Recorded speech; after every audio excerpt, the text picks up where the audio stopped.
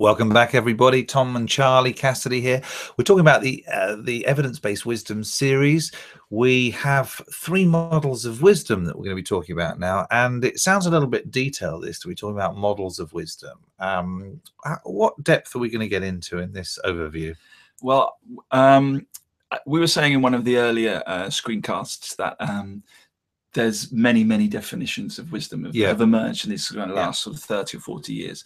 Um, but I just want in this just to pass it down to sort of three leaders of the pack. These are the ones that have um, sort of risen to the top and they've Mhm. been adopted by other researchers. Uh, Right. So, because quite often you get people who come up with their own model and, and they use that over and over in their research.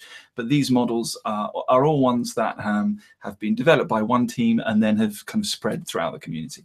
And um, those are the three that we're going to be looking at today. So these are the received wisdom That's right. models. Yes, absolutely. I did that. Nice. Yeah, okay, so what's the first one? So the first one is is kind of the daddy, really. It's called the the Berlin Wisdom Paradigm, uh, developed in the 1980s uh, in Berlin um, Clever. by um, Paul Baltes, who's a bit of a um, bit of a Wiz. leviathan in this kind of Oh, field, uh, and Ursula Staudinger, who's um, she's still going strong um, at the Max Planck Institute for Human Development. So okay. um, they very much looked at wisdom as an expertise. So they said being wise basically means being an expert at life, which is, you know, quite Yeah. practical, common Okay. sense way of looking at it. Um, so they had uh, the kind of five criteria uh, against which you would uh, judge uh, a decision or an action to Mhm. determine whether it was um, it, it was wise. Um, factual knowledge, procedural knowledge, lifespan contextualism, relativism, and uncertainty. Again, lots of detail on evidence-based-wisdom.com. Whoa. So there's a lot to take in there. Um, but it, it was um, a very useful uh, framework. Still used a lot to this day. Um, uh, but there is one uh, problem that a lot of other researchers had with it, which is wisdom seems to be something. When we talk about wisdom, we feel that there's a certain amount of doing the right thing. It- it's kind of an ethical component to it Mm. it doesn't feel like it's wisdom unless it's for the common good, etc. And this uh, Berlin wisdom paradigm is Doesn't is- so much incorporate that? no, it's a, it's it's viewed as a little bit cold. It's Yeah. about a practical skill set. You've got it or you haven't. Um, okay. So Okay. so there was a bit of a vacuum, a bit of a space or a need for something that could uh, bring the kind of ethical component back Mhm. into wisdom. So that's the sort of strengths and and uh, Okay. Okay, that's the first issues one. with the Berlin wisdom paradigm. Sounds good. And uh, the the others that we're going to talk about in this one, the next one is Yeah, so there's a guy called um, uh, Robert Sternberg, uh, who I think you'd really like. he's um, quite well known. In in lots of different fields, Yes, education. yeah, exactly, yeah. Um, and he's actually come up with all sorts of theories. He, he's come up with a theory for intelligence, Yeah. a theory for wisdom, obviously, which we're talking about Mm-hmm. now. Also, a theory for love, which is quite interesting. Um, I don't know too much about that, but he, you know, he's he strides various different Yeah. fields. He was um, the uh, he was the head of the uh, American Association of Psychology, so he's a, he's a big deal. Yeah. And his theory of wisdom, um, basically, it's called the balance theory of wisdom, and he says it's all about balancing various different drives, specifically towards um, trying to optimize it for the common good.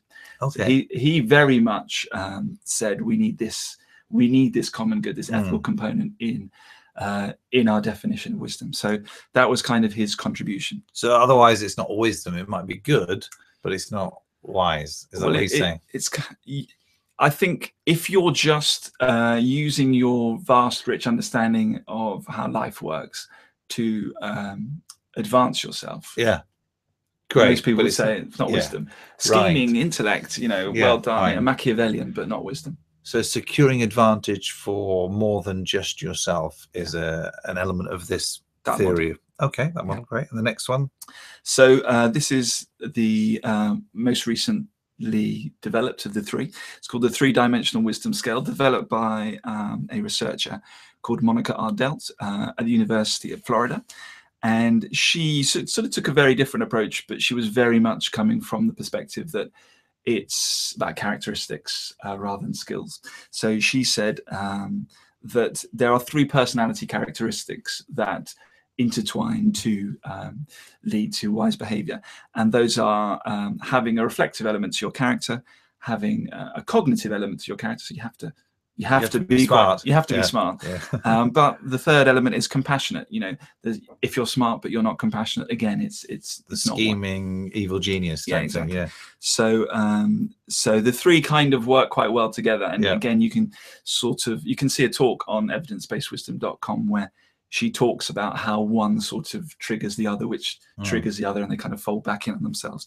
But so she approached it very much from a personality uh, characteristics perspective, um, and yeah, reflective, cognitive, and compassionate dimensions. So it's quite a different approach to the Berlin wisdom paradigm. So it seems like you know going from the 1980s up into the late 90s has been a bit of a journey from Mm. Looking at wisdom as very much a cold hard skill Transactional. yeah thing, transactional yeah. to uh, Mm. being something that you know has elements of compassion doing the right thing in it Interesting because then when you bring in the morality of things, how it'll be interesting to see how the cultural ideas of what is absolute for the greater good Mm. and how that impacts upon um, on, on wisdom and in its implementations. yeah absolutely absolutely and what's what's obviously very exciting about having um, established frameworks is that you can then start to measure against those frameworks so once you've got um, some Yeah. criteria Some scales, Then you can sc- score it, yeah. yeah, and that's when we can start to do some science on it Yeah, yeah, which is awesome. excellent Love it. Okay, thanks for that, and see you in the next one.